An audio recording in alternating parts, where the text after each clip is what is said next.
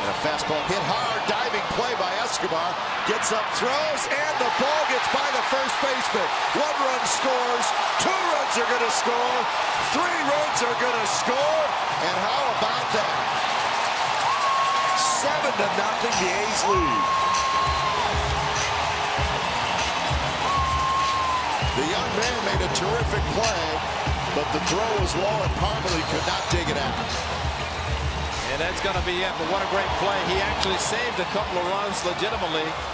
And the throw just could not be handled by Parmelee, almost to the point with the ball in the ground. And you know the foul territory for a first baseman come off the bag. He tried to scoop it, could not. He wanted the out, could not get it.